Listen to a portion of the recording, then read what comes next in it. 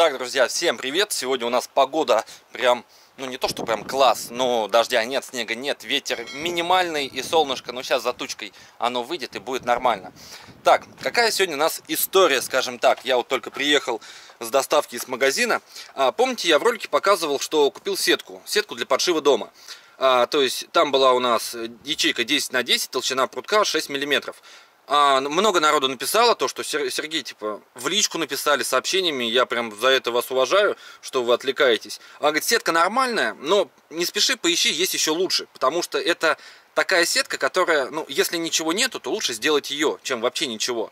Потому что она мягковата, то есть ее можно и степлером крепить, и мышка большая, если захочет, пролезет, а маленькая тем более, потому что ячейка 10 на 10. И сказали искать еще. Соответственно, что я сделал? А, у меня сломалась тачка, ну, колесо пробило, а, садовая тачка.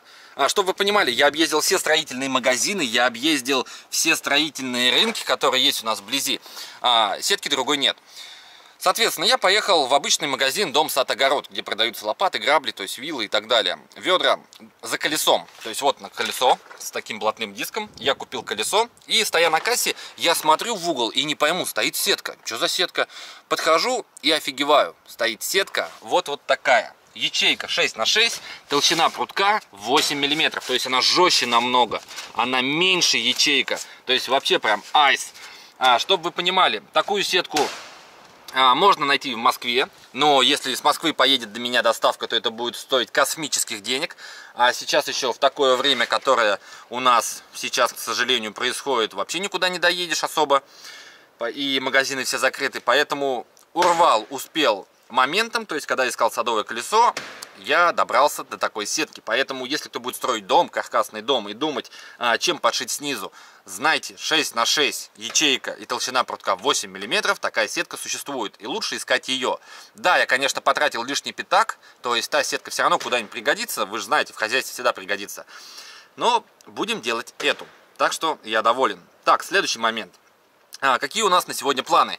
А, планы у нас какие? Во-первых, погода позволяет, вот солнышко вышло.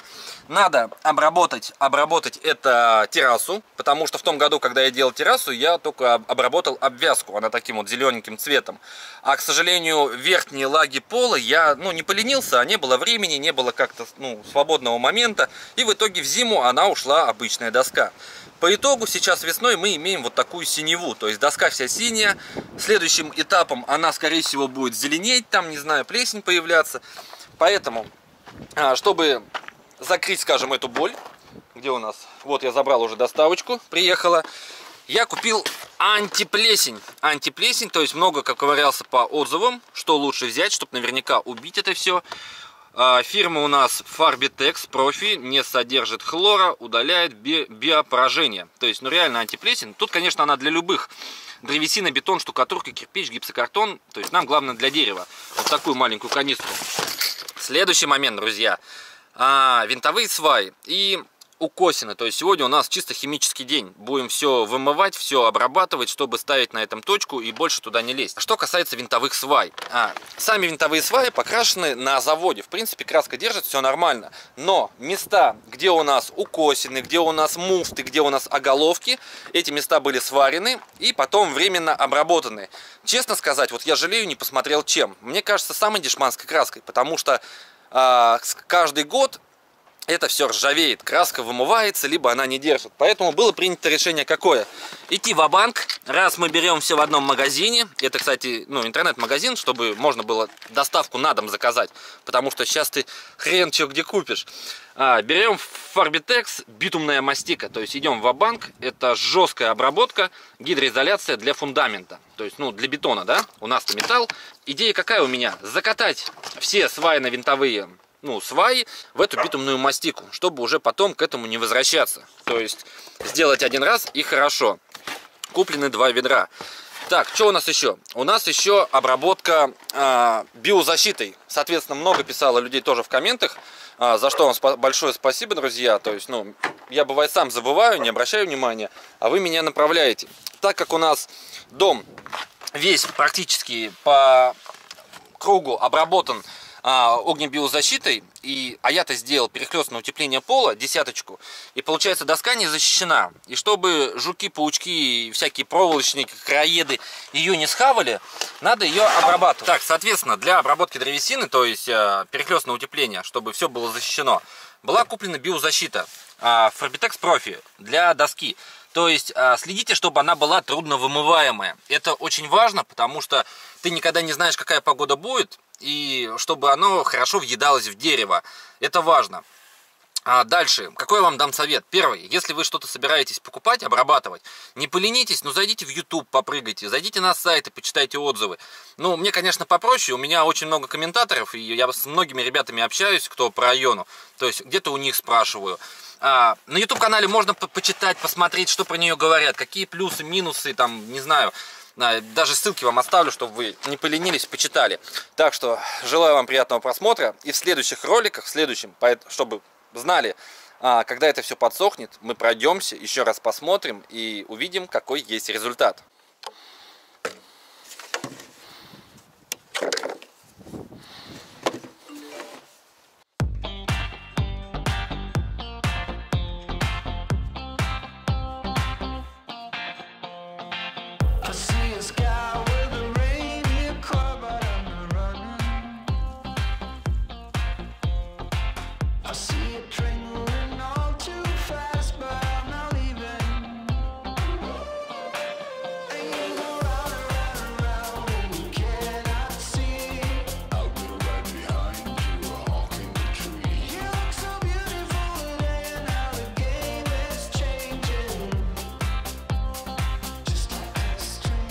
Пап досочку отмывает. Досочка позеленела. Вот папа ее отмывает. Цветочки, да. Собирай цветочки, зайка. Там в инструкции написано, потом еще через часа 4 повторить слой. Так что, чтобы наверняка уже как раз будет видно пораженные места мы их еще разок пройдем. А потом все это зальем антисептиком. Как вам лайфхак? Запоминайте. Удобное переносное устройство. УПУ, да? Удобное переносное устройство.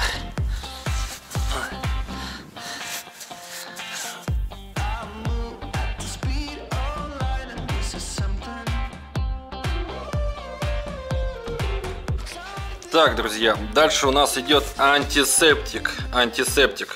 А, не забываем, не ленимся, всегда читаем инструкцию.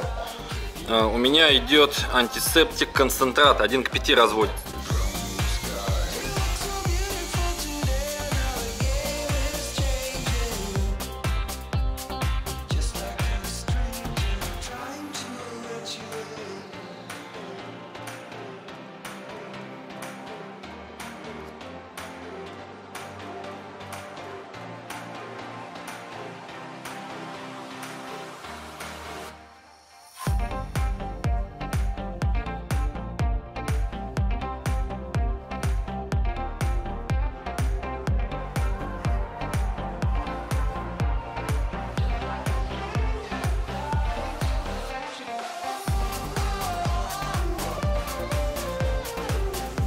Так, друзья, ну что, я вылез из-под дома. Обработана вся обрешетка для контрутепления перехлестного. Обрабатывал жирненько, то есть я никогда не жалею в таких целях а, материал. То есть в данный момент это биозащиту. Потому что, во-первых, делаем для себя. Кто-то будет кричать, сколько ты вылил на землю. Друзья, ради бога экономьте. Я лучше так ее обмажу, чтобы потом спать спокойно. А что касается синевы, видно, что она отходит хорошо. Сейчас еще разок промажу антиплесню, чтобы прям хорошо вот так въелась. А уже вот по дальней доске прям видны такие белые пробелы. То есть буквально прошло ну, часов 5, наверное. То есть вот они. Они прям такие белые пробелы уже видны. То есть доска хорошо отходит. То есть оживляется или как назвать, как сказать, во, а тут вообще уже полос почти синих нету. То есть уже белеет дос досочка. Так что еще разок пройдемся антиплесенью. И как раз потом обработаем это крылечко. Так что продолжаем работу. На очереди у нас надо битумом обработать сваи. И уже эмалью обработать все укосины. Так что булки не расслабляем, работаем дальше. Так, друзья, прежде чем обрабатывать сваи, я хочу их немножко подкопать. Ну, примерно где-то на полштыка. А если кто знает, ну я такие вещи, скажем, замечал, то что когда у нас зима-лето, то, соответственно, грунт немножко прыгает то вверх, то вниз. И чтобы качественно защитить сваю, скажем так, я немножко сниму плодородный слой, слой щеточкой зачищу, ну, чтобы удалить всю землю, скажем, лишнюю. И потом уже начнем разогревать битум и обрабатывать, обрабатывать сваи. А, сказать честно, я перелопатил весь интернет и так поспрашивал у людей. А, конечно, это мое мнение, вы можете считать его брать на вооружение или нет. Но лучше битумной мастики для защиты свай, винтовых свай, я пока не нашел. Поэтому все, кто что советует, все говорят битум, бери битумную мастику и прям плотненько маш винтовую сваю. Тем самым мы ее защитим намного надежней. И ни одна краска с этим не сравнится. Ну, это мое мнение. А вы уже смотрите сами.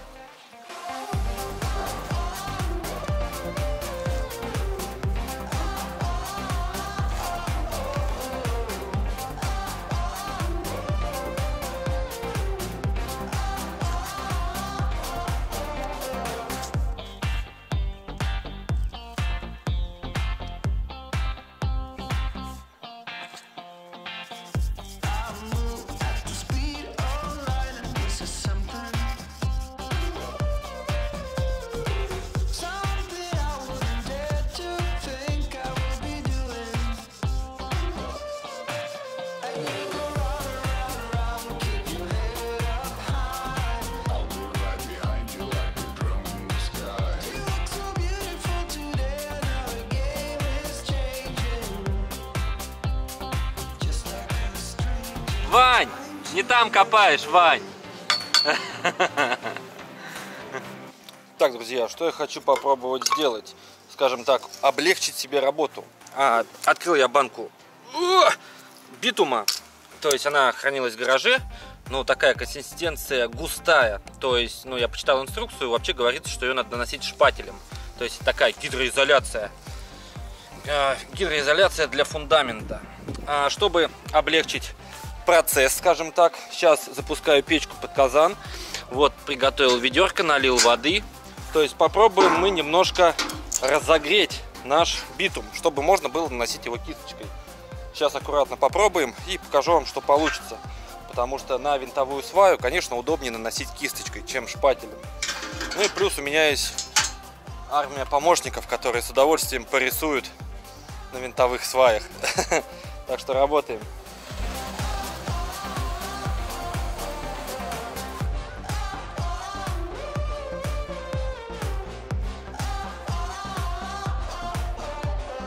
Друзья, зелье наше варится. Варится. Не знаю, видно вам нет, то есть уже размякла хорошо. То есть такая жи жиденькая уже более-менее. Сейчас я подольше ее подержу, чтобы не 5 свои обработать, и она опять загустела, а немножко побольше хватило. Так что ждем, ждем. То есть можно вот так разогревать, вот она уже жиденькая, уже хорошо.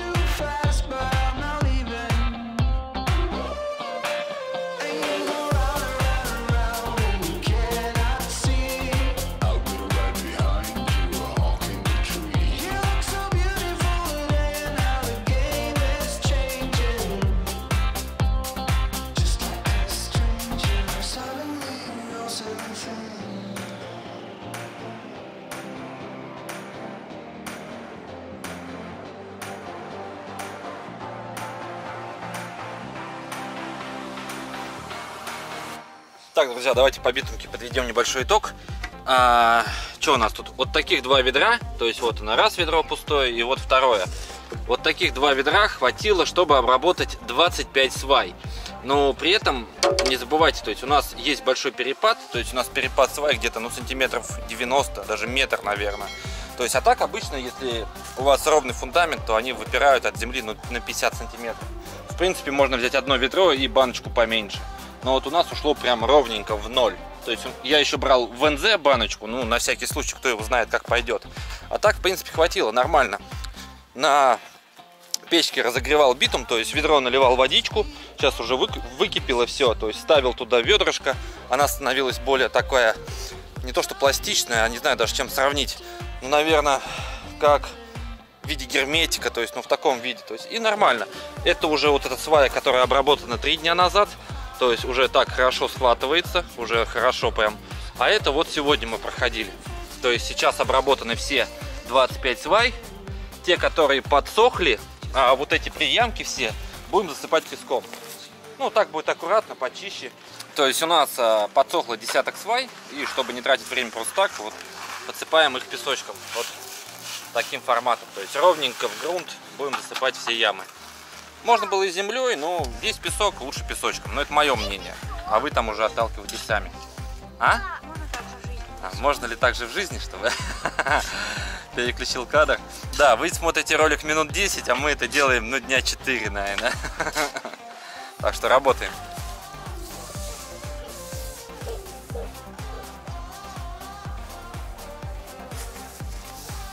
Так, друзья, заходим на последний этап. Это у нас обработка укосов. То есть вот уже часть а, промазали. Я хочу вам показать то, что как краска легла. На самом деле реально бомбически. Со всех четырех сторон вот уголок промазан, то есть покрашен. Такой довольно жесткий толстый слой. А, сейчас я вам покажу красочку. Уже особо не прочитаешь. А, начали мы, чтобы вы понимали, если будете выбирать краски. Краски у нас одной марки, Far- Farbitex. Заказывали через интернет. А, сначала взяли маленькую баночку, чтобы можно было попробовать, посмотреть, как она в работе. А, краска реально понравилась, поэтому даже не жалко, скажем так, ее показать, посоветовать. Банка у нас уже вот такая в работе. А, это краска по металлу, три в одном. То есть грунт, эмаль, алкидная, по ржавчине. На самом деле бомбическая краска, ложится вообще как масло, а, чтобы вы видели. То есть ее, можно сказать, даже мешать не надо. Она вот такая уже готовая к, к использованию. То есть крышку открыл и вперед. А, на все вот эти краски я оставлю ссылки в описании. Перейдите, посмотрите, почитайте. Даже у них есть YouTube канал, тоже можете зайти глянуть.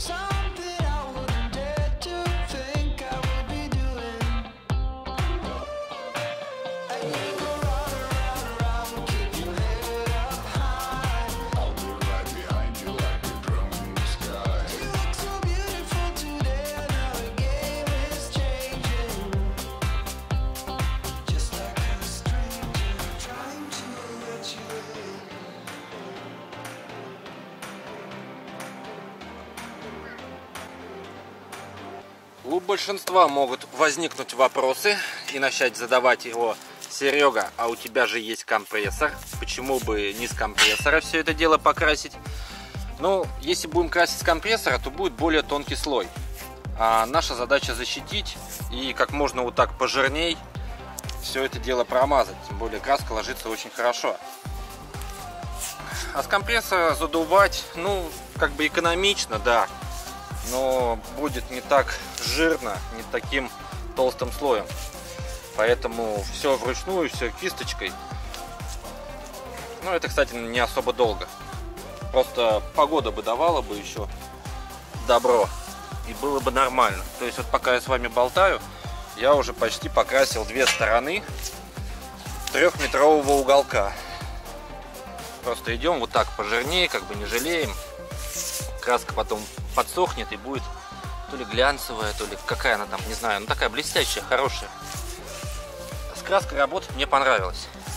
Я минусов никаких не нашел.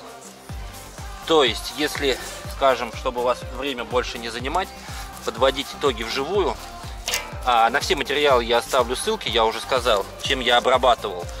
То есть крыльцо я обработал антисептиком. А, зеленую часть крыльца, где доска вот зеленела. Смотрите, кстати, почти сошла, вообще почти нету. То есть была такая прям черная-черная полоса, ее практически вообще нет. Надо будет еще раз промазать, будет вообще шикардос. То есть это отбеливателем я мазал. Дальше, что мы сделали? Мы сделали сваи. Сваи обработали битумом. На самом деле я не знаю лучше средства, которое защитит сваи. Вот реально не знаю. Потому что битум это, наверное, один из самых лучших. По крайней мере, э, в данной ситуации для меня. Потому что реально другого средства я такого мощ- мощного не знаю. И вот осталась вот эта краска 3 в одном. Сразу и грунт, и эмаль. Акриловая, прям по ржавчине. Вообще отлично ложится. Так что вот так. Пишите комменты, пишите вопросы, ставьте лайки. Подписывайтесь на канал, делитесь опытом.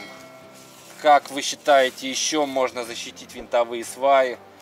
Пожалуйста, не надо умничать, что надо было заливать плиту, а не ставить винтовые сваи.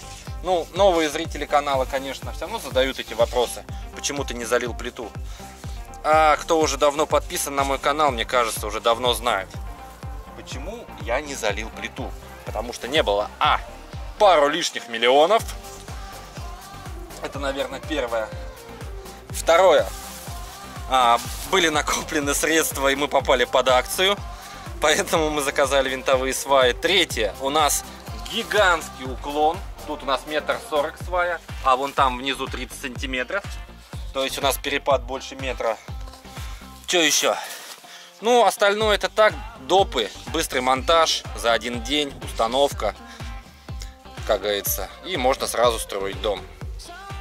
Был бы ровный участок, были бы деньги, был бы он сухой, как бы не было бы высоких грунтовых вод, конечно бы, возможно, сделали шведскую плиту. Но это будет уже в другой жизни. Ладно, еще раз спасибо. Всем хорошего настроения. Держите хвост пистолетом. Всем пока-пока.